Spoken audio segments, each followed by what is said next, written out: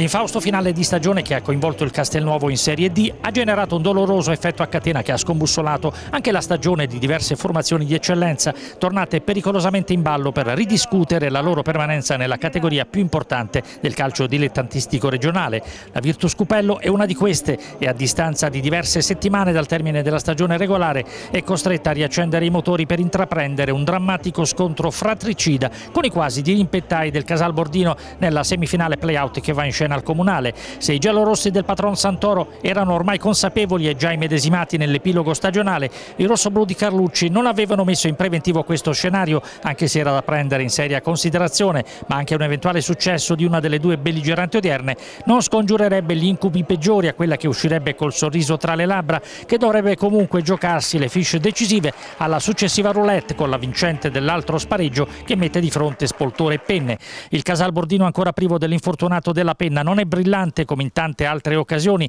e rischia nelle fasi d'avvio della contesa, dapprima sull'aggancio di Conti a ridosso del secondo palo che spedisce sopra la trasversale da due passi e poco dopo con il diagonale ravvicinato di Donatelli, deviato in corner dalla provvidenziale chiusura di Campanella. Troiano imperversa sulla dorsale mancina e poco dopo offre un succulento invito a centro area per Conti che arriva in leggerissimo ritardo e non può intervenire per l'eventuale tapin vincente. L'importanza della posta in palio è palpabile anche in mezzo al campo e in particolare al minuto 24 quando il direttore di gara ha il suo bel da fare per sedare una maxi rissa che coinvolge molti dei protagonisti sul rettangolo verde. Il gioco rimane fermo per oltre 8 minuti e alla fine il signor Marchetti dell'Aquila partorisce un paio di cartellini rossi equamente distribuiti ed indirizzati al cupellese Caniglia e al casalese Bonasia. La gara torna nei binari della normalità e la Virtus prova a rompere gli indugi nelle fasi che conducono all'intervallo. Poco oltre la mezz'ora è il palo che si oppone alla stoccata dal vertice calcio d'area di Nicolo Margagliotti con quest'ultimo che al quarantesimo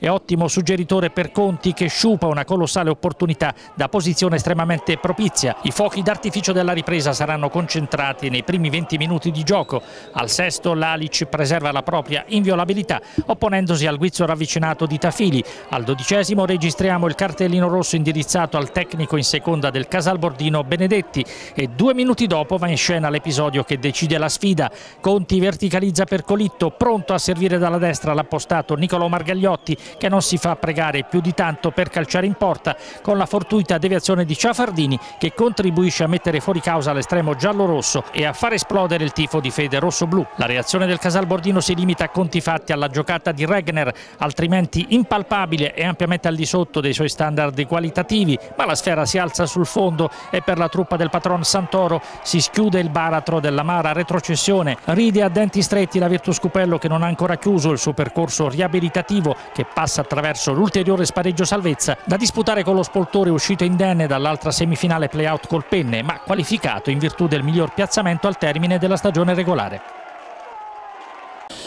Panfilo Carlucci, nessuno o quasi si aspettava di dover arrivare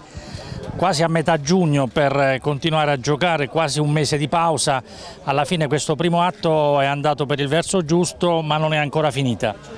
No, no, non è finito nulla. Oggi abbiamo fatto la prima partita contro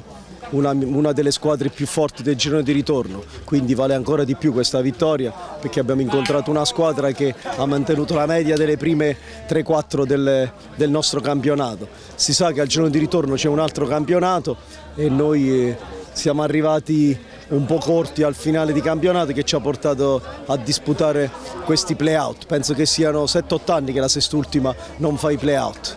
Purtroppo noi con la testa eravamo un po' in vacanza un mese fa, ci siamo dovuti rimettere sotto e non è stato facile preparare questa partita contro una squadra che già sapeva